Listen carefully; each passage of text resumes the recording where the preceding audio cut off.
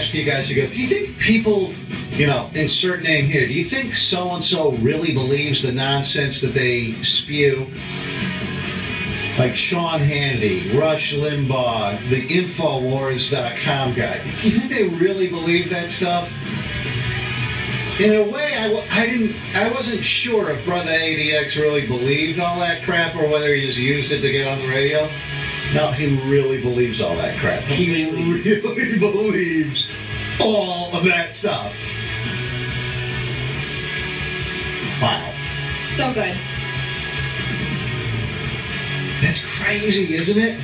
Isn't that just crazy? I mean, that he really believes all that stuff. You think you could ever change his opinion about any of that? No.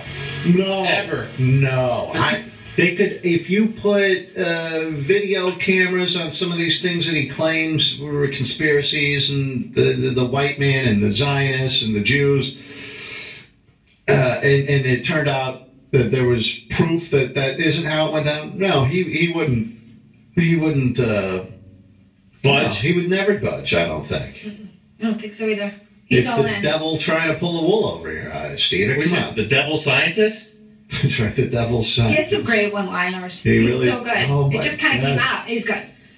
She's not really kissing his Yeah, ass. my like- God. Oh, I don't like him on the phone. She's really kissing his ass now, though. Oh, he's so good. Because it's in the hallway, Nice you can hear. Nice guy. Give her a day or two. No, he's not. No, he can never come back in. No, I thought that was good. It was. I was pleasantly surprised. What do you think, Charlie? Oh, I love that guy. I love. I like. I was talking to him last night for 20 minutes on the phone about 9/11 and stuff.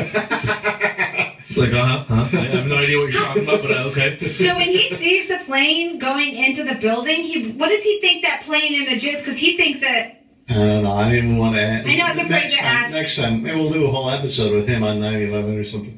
Oh, you and he carries sure. like these pictures, like he's very sincere. He carries these little laminated Briefcase. photos of Farrakhan and the uh, Elijah Muhammad, whoever that is. Like he carries all these photos around, and like when you're talking to him in the commercial break, he holds them up almost like uh, they're props. like props, yeah. really. Well, this newspaper he gave me, it's in mint condition. It's from two years ago, Rover. He keeps all of these. Yeah. I mean, look at this. And this one, what was yours? UFOs. Oh, from, yeah, he see, he kept that just for you, Pro. from. March 2014. It hasn't even been opened, it feels like. No. He probably has just stacks of these in his apartment or whatever.